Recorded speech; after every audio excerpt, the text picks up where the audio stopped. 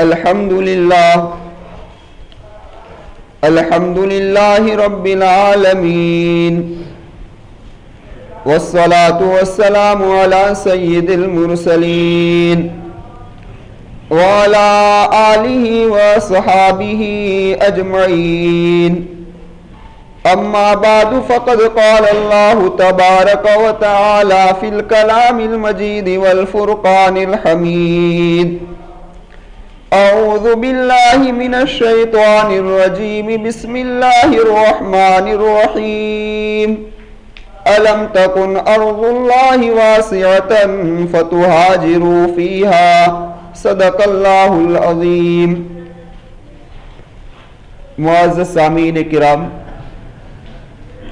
اس سے پہلے ہماری بات یہاں تک پہنچی تھی کہ اقبا کی گھاٹی کے اندر یہ پچہتر آدمیوں کا مقدس وفد نبی کریم صلی اللہ علیہ وسلم کے ہاتھوں پر بیت کر لی اور اللہ کے رسول صلی اللہ علیہ وسلم نے جبرائیل علیہ السلام کے اشارے پر ان کے بارہ نقیب کو متعین کر لیا۔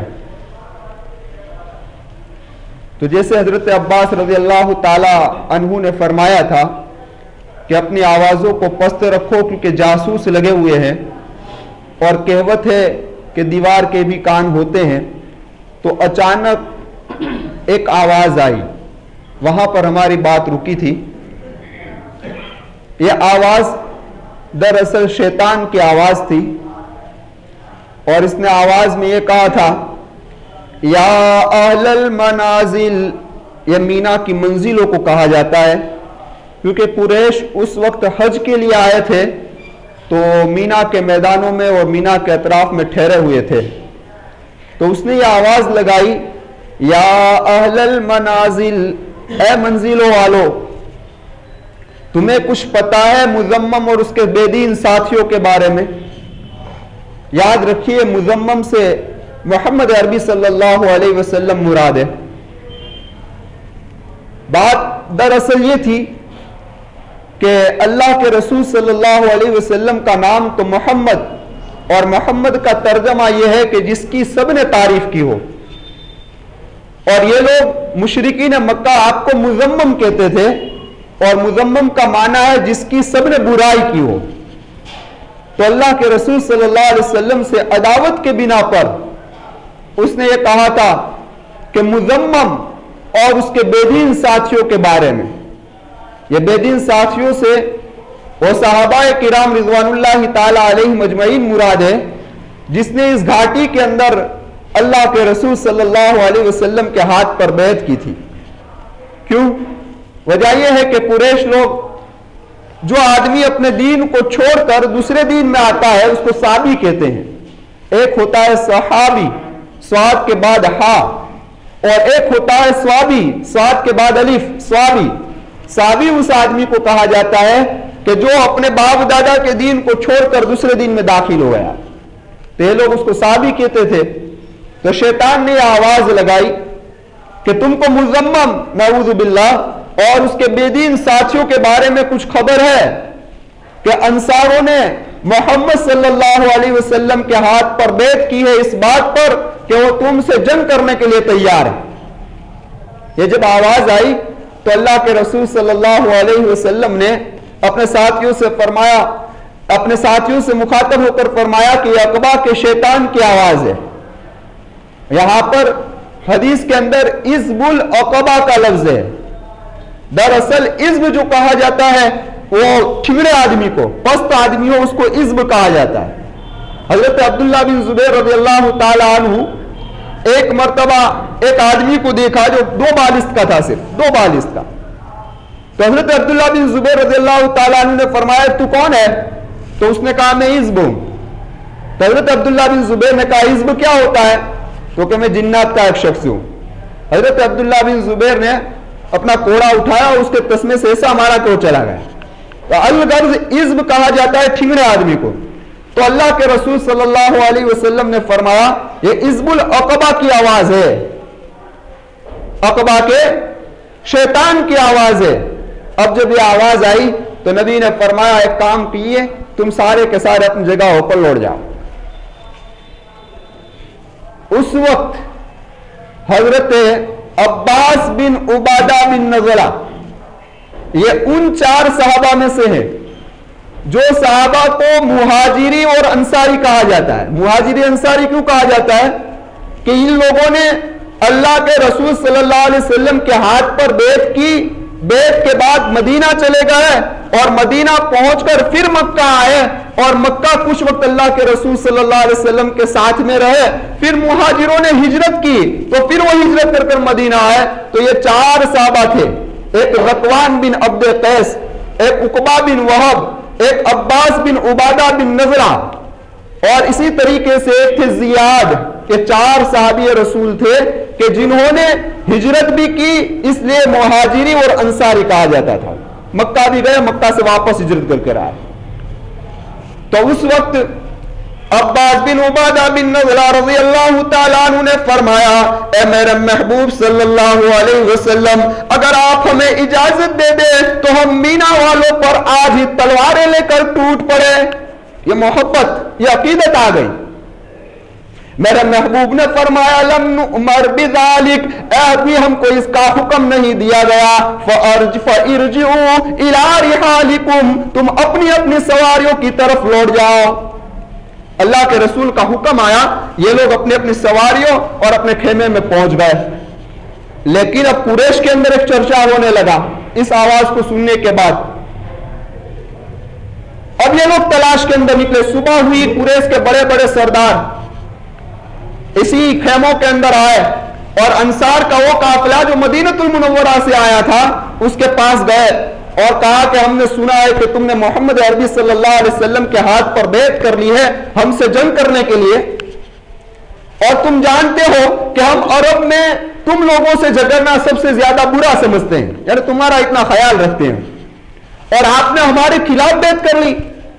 اور ان بیچاروں کو تو پتا بھی نہیں تھا، کیونکہ میں عرض کر چکا ہوں کہ وہ قافلہ پانچ سو کا آیا تھا۔ اور اس میں سے صرف یہ تو پچہتر آدمی تھے۔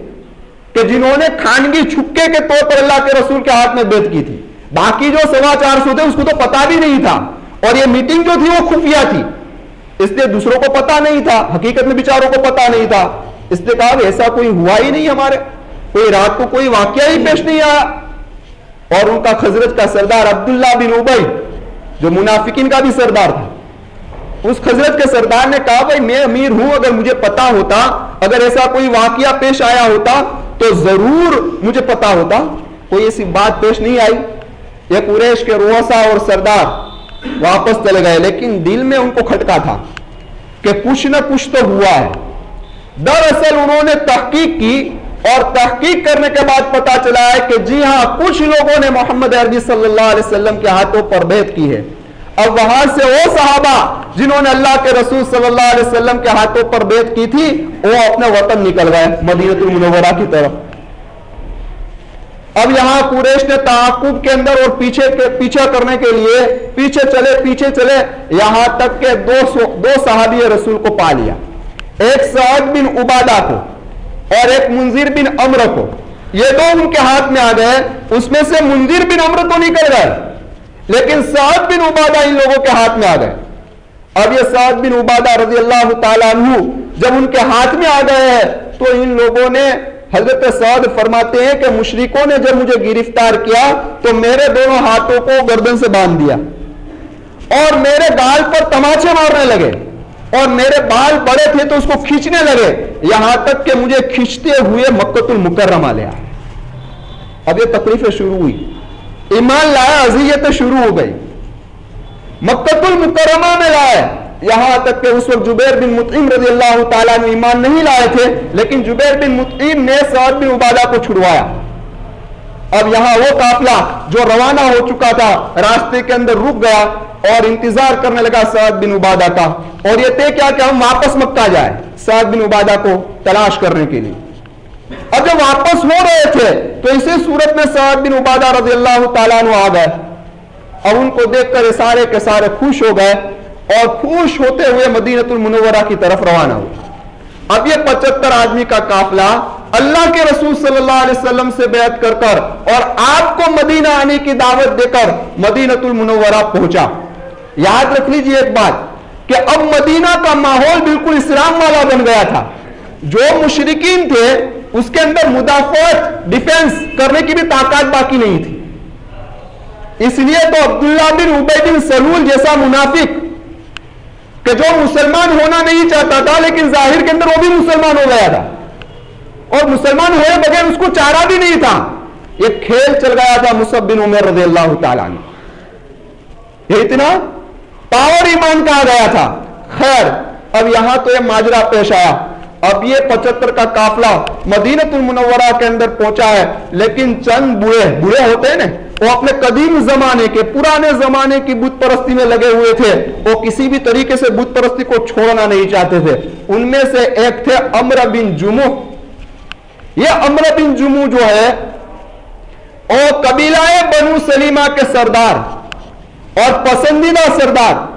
علماء نے لکھا ہے مورخین لکھتے ہیں کہ یہ مدینہ کے سخی اور مدینہ کے بہادر لوگوں میں ان کا شمار تھا۔ اور عرب کا ایک دستور تھا۔ اور دستور کیا تھا کہ جب ان کا کوئی سردار ہوتا تو سردار اپنے گھر کے اندر ایک بوت کو خاص طور پر رکھتا تھا۔ اور بوت کو رکھ کر اس کے سامنے روزانہ صبح کو جاتا اور کوئی خوشی کا دن ہوتا تو اس کے نام پر قربانی کرتا، جانور ذبح کرتا۔ اور کوئی تکلیف اور مصیبت ہوتی تو اس سے درخواست کرتا تھا۔ تو یہ امر بن جمو نے ایک بوت بنایا تھا، جس کا نام تھا منات۔ یہ اپنے گھر میں رکھا ہوا تھا۔ اور اس کو اس منات سے بڑی محبت تھی۔ اور اس نے بہترین لکڑیوں کے ذریعے سے اور عمدہ سے عمدہ خوشبو لگا کر اس کو رکھا رکھا تھا۔ اور یہاں حال یہ تھا کہ مصعب بن عمر رضی اللہ میں اپنے ویریوس میں آ رہا ہوں۔ یہ مصعب بن عمر جب مدینہ آئے، اس وقت کا حال بیان کر رہا ہوں۔ تو دیکھو، یہاں مصعب بن عمر رضی اللہ تعالیٰ عنہ کے ہاتھ پر اسی عمر بن جمو کے تینوں بیٹے، معاذ معوض اور خلاد، یہ تینوں کے تینوں ایمان کے اندر داخل ہو گئے تھے۔ اور ساتھ ساتھ کے اندر عمر بن جمو کی بیوی ہند بھی ایمان کے اندر داخل ہو گئی تھی۔ لیکن عمر بن جمو کو کچھ بھی پتا نہیں تھا۔ کہ میرا گھر ایمان کے اندر داخل ہو گیا ہے۔ اور اگر بیوی بڑی وفادار ہوا کرتی ہے، تو بیوی جو ہے، وہ بڑی نیک تھی۔ اس کو ہر وقت فکر لگی تھی کہ کسی بھی طریقے سے میرا شوہر ایمان کے اندر داخل ہو جائے، تاکہ ہمیشہ کی جہنم سے بچ جائے۔ تو ایک دن امر بن جمو نے اپنی بیوی سے کہا ہے ہند، خبردار، جہاں تک ہم کسی فیصلے پر نہ پہنچے، وہاں تک ہمارا کوئی لڑکا اس نوجوان سے نہ ملے یعنی مصب بن عمیر سے نہ ملے۔ اب اس کو کیا پتا کہ سب ایمان کے اندر آ گئے خیر، بیوی نے کہا جی ہاں آپ کا حکم۔ آپ جیسا کہے، ہم اس پر عمل کرنے کے لیے تیار ہے لیکن میری ایک بات ہے کہ کام کرے کہ ہمارا بیٹا جو معاذ ہے، یہ معاذ وہ صحابی ہے کہ جس نے پچہتر آدمیوں میں یہ شامل تھے۔ معاذ بن امر یہ پچہتر آدمیوں میں شامل تھے۔ خیر، یہ ہمارا بیٹا معاذ ہے۔ وہ کچھ کلام اس سے سن کر آیا ہے۔ تو اس پر وہ خفا ہو گیا، غصے ہو گیا۔ کیا میری لا علمی میں یعنی مجھے پتا بھی نہیں ہے، اور اس نے اپنے باپ دادا کے دین کو چھوڑ دیا۔ تو کہ ایسا نہیں ہے، وہ اس کی مجلس میں بیٹھا ہوا تھا، کچھ کلام سنا ہے۔ اگر آپ چاہیں تو اس سے کچھ کلام سن لیں۔ اب امر بن جمو نے اپنے صاحبزادے معاذ کو بلایا اب یہ معاذ آئے۔ حضرت معاذ رضی اللہ تعالیٰ عنہ اپنے والد محترم امر بن جمو کے پاس بیٹھے۔ امر بن جمو نے کہا، اے میرے بیٹے، کیا کلام تو نے مصعب بن عمیر رضی اللہ تعالیٰ عنہ سے سن رکھا ہے؟ جب حضرت معاذ رضی اللہ تعالیٰ عنہ نے قرآن کریم کی تلاوت شروع کی، الحمدللہ رب العالمین۔ تمام تعریف اس اللہ کے لیے ہے جو سارے جہاں کا رب ہے۔ سورہ فاتحہ مکمل کے مکمل حضرت معاذ نے سن سنائی، جب ختم ہو گئی عمر بن جمو کہنے لگا، کیا ہی خوبصورت کلام ہے؟ کیا ہی بہترین کلام ہے؟ کیا وہ مصعب کا سارا کے سارا کلام ایسا ہے؟ تو معاذ کہنے لگے، اے میرے والد محترم، سارا کے سارا کلام مصعب کا ایسا ہے۔ الحمدللہ رب العالمین۔ اے میرے والد محترم، ذرا کام کیجیے۔ آپ اگر پسند کریں تو مصحف کے ہاتھ پر بیعت کر لیجیے۔ ہمارا پورا کے پورا قبیلہ ہے بنو سلیمہ۔ اس کے ہاتھ پر ایمان لے آیا ہے۔ جب یہ کلمہ کہا تو عمر بن جموح کہنے لگا کہ مجھے خاموش ہو گئے۔ تھوڑی دیر کے لیے خاموش ہو کر کہنے لگے، مجھے تو مناج سے مشورہ کرنا ہے۔ کیا کہنے لگے؟ مناج سے مشورہ کرنے لگے۔ اس وقت حضرت معاذ رضی اللہ تعالیٰ عنہ نے فرمایا، اے میرے والد محترم، وہو خشب اسم لا یاقلو ولا ینتکو آپ جو بھی کہیں گے، اس کے اندر تھوڑی عقل ہے، وہ تو لکڑی کا بنا ہوا ہے، نہ کوئی سن سکتا ہے، نہ تمہارے مشورے کا جواب دے سکتا ہے۔ اس پر وہ خفا ہو گیا۔ میں نے کہا ہے کہ میں منات کے مشورے کے بغیر ایک قدم بھی آگے نہ بڑھاؤں گا۔ اب اتنا محبت منات سے لگی ہوئی تھی۔ الغرض و منات کے پاس گئے اور وہاں جا کر عرب کا ایک دستور تھا کہ جب بوت سے کوئی بات کرنی ہوتی نے تو بوت کے پیچھے ایک بڑی عورت کو رکھ دیتے تھے۔ کس کو؟ بڑی عورت کو۔ پھر ان کے عقیدے کے مطابق ان کا ایک گمان تھا کہ یہ بوت اس بڑیا کے دل میں جو بات ڈالے گا وہی یہ بڑیا بولے گی۔ اب یہ بوت کے پیچھے بڑیا اور بوت سے بات کرنا شروع کیا۔ پہلے تو منات کی بہت تعریف کی۔ اور یہ لمبی چوڑی بات ہے، یہاں تو وقت بھی ختم ہو رہا ہے۔ مختصر کلامی کے کچھ جواب ملا۔ کہاں سے جواب ملتا؟ تو بڑے غمگین ہو گئے۔ اور کہا منات کیا تم مجھ سے ناراض ہو گیا ہے؟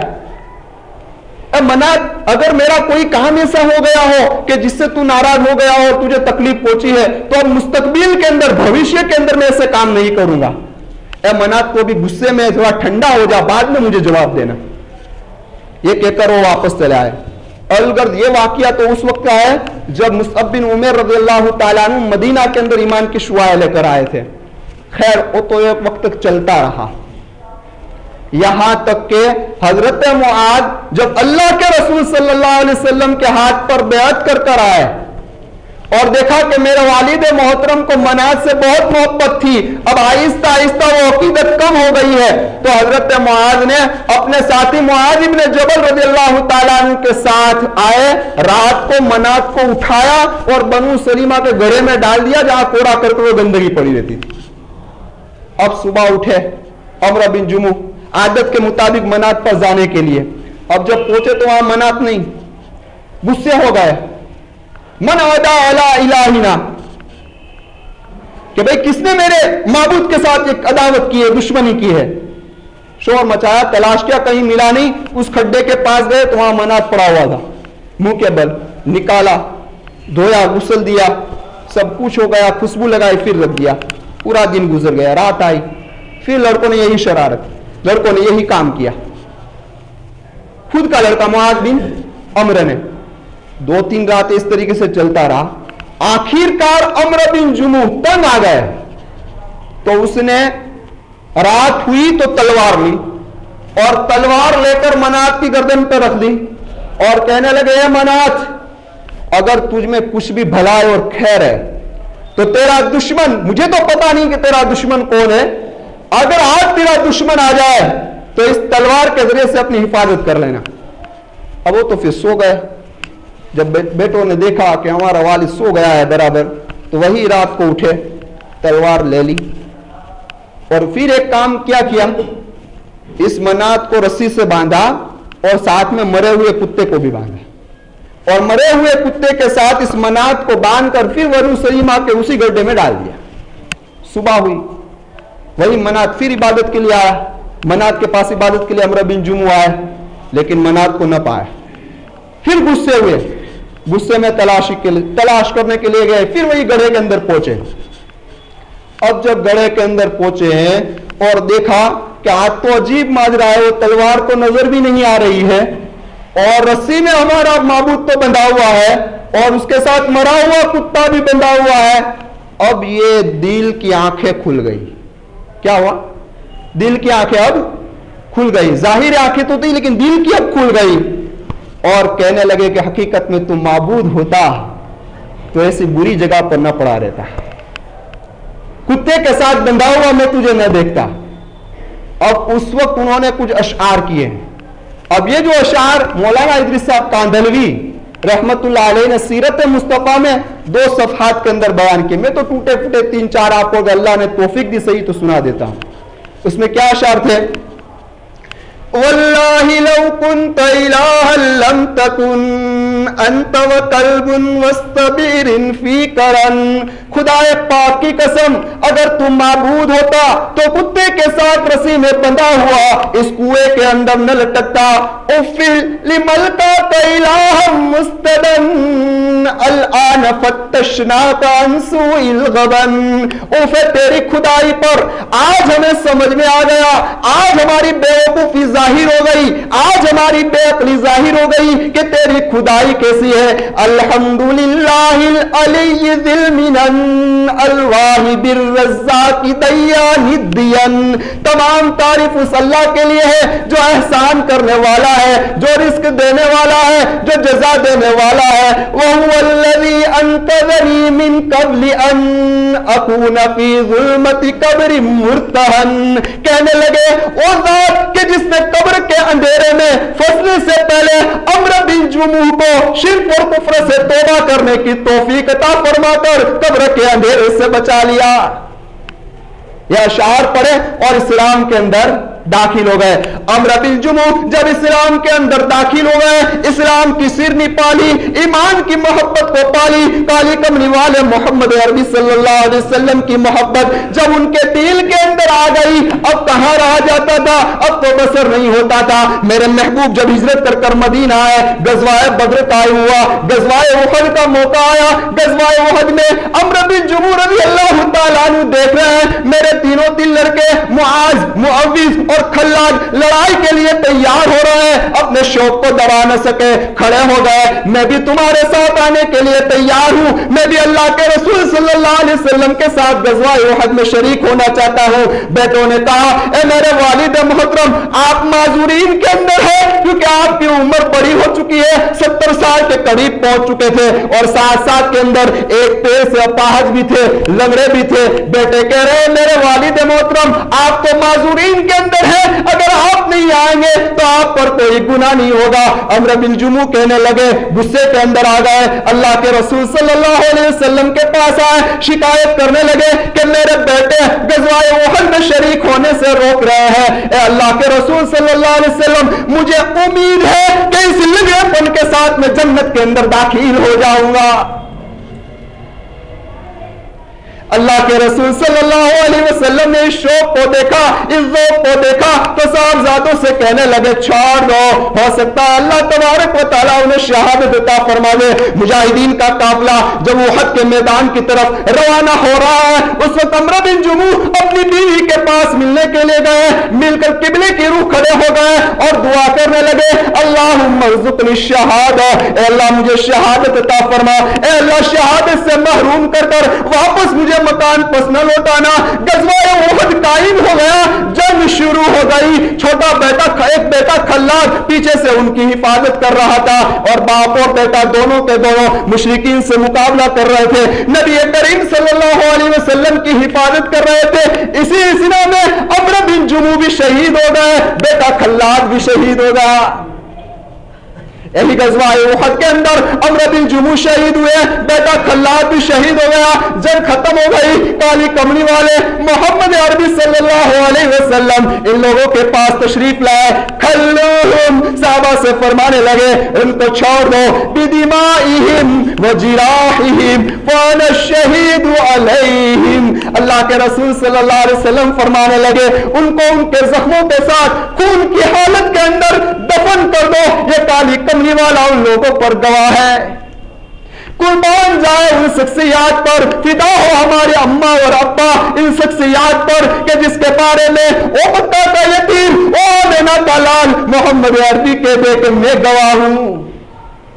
کون کہہ دے کہ میں گواہ؟ ہوں الغرض امر بن جمع رضی اللہ تعالیٰ عنہ شہید ہو گئے۔